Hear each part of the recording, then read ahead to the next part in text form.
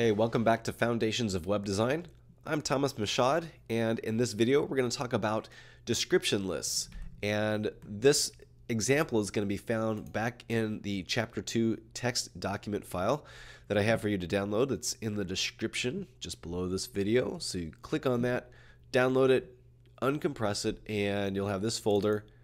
And in this example, we're going to be using the description lists.html document that will open up into our text editor. Okay, here we have our description lists open in Komodo Edit. And one thing that I want to make sure that you understand when I talk about description lists, it's often referred to as definition lists as well. That's something that's a, an older term uh, that's been used for a number of years. And just recently, the World Wide Web Consortium has switched the term description or definition to description lists.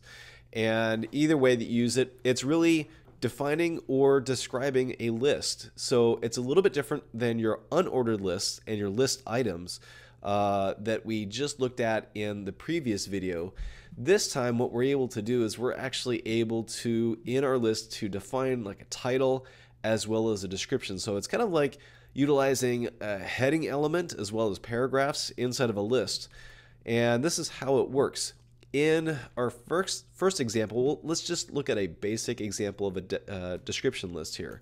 And sometimes you're going to hear me call it a definition list simply because for years that's what I called it.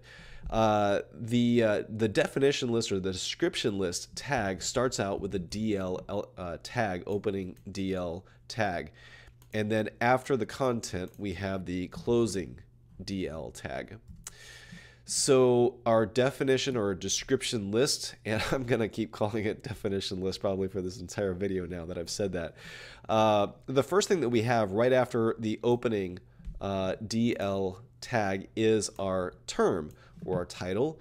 And in this particular instance, we're going to be talking about the topic of cat. So we'll put a definition or description topic title, whatever you want to call it, uh, opening tag, and then a closing uh, description tag. So description title is the cat, and then what we want is the description, uh, the definition description, and so we have what are called the DD element. Uh, so we open that up with an opening DD element and we are a tag and we'll close that. So a definition for a cat might be a pet for catching rats and mice. We have a cat, we you know, love having to catch the mice as we live out kind of like in the country area, so it's certainly helpful. Um, another alternative definition of a cat would be a malicious woman. So it's kind of like a, um, you know, we're defining different ways that people mean when they say, "Oh, she's such a cat," or "She's so catty," or something like that. So it's uh, that's another you know kind of like a slang term, so that we can put that in there. Another type of slang term could be a cat means a player or a devotee of jazz music. So that's another type of definition description. So a title or a topic can have multiple types of definitions. So that's one of the things that I really love about uh, definition lists. It's kind of like uh, you'd use it if you were, you know, defining something from a dictionary. Okay, so that's one basic example of a definition list. You can have one topic with multiple definitions. And so you could do that for like frog, something that's wet, uh, a green thing, anything like that. So uh, hopefully you can start to see some of the possibilities of a definition or a description list. Another thing that we can do um, is to have multiple topics or titles.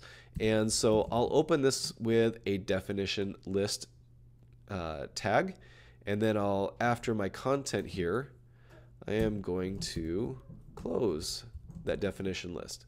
So we have two topics here. We have color that has the English, the United States English version, the American English version, and the you have the British spelling of color.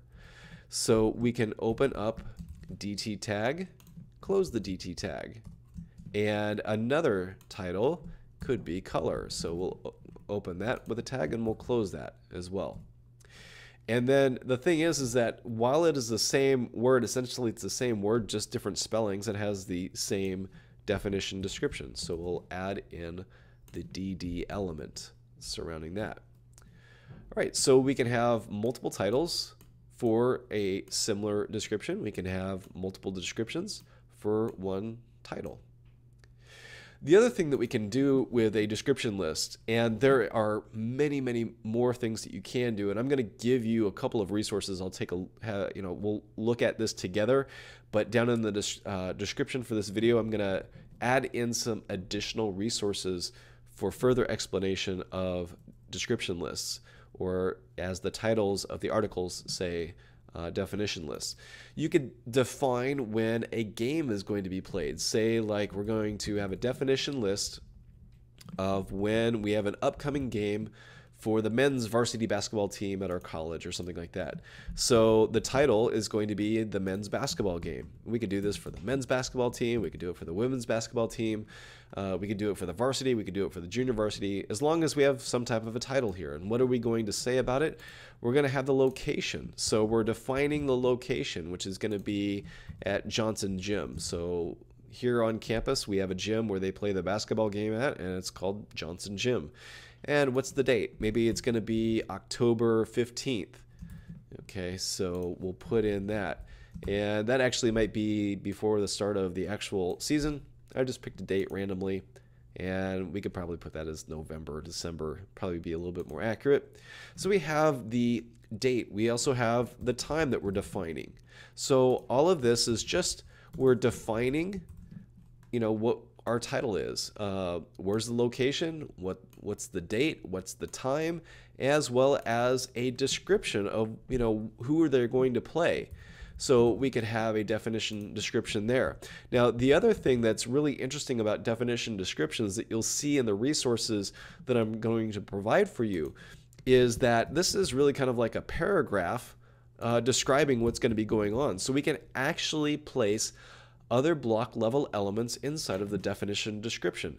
We could actually have a list of items such as, you know, when is all of this going to take place? Johnson Gymnasium, October 15th, 2013, at the time of 6:30. We could actually have made that into a list actually.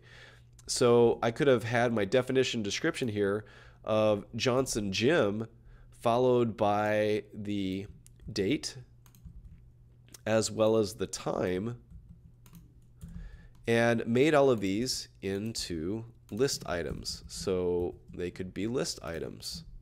So let me just switch those over to list items and I'll just transform these really quick like so, copy and paste. And so then we can actually have list items within a description because this is all kind of dealing with the same thing as far as like the, uh, the location, the date, and the time.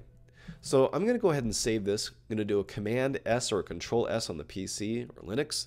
And let's open this up in, uh, say, uh, we'll, we'll open up in Google Chrome. And we'll click on Preview. And we'll see what this looks like. So notice that the, the title is kept to the left, but the description, much like the list items for an unordered list or an ordered list, are shifted to the right. So they have some margin over here on the right.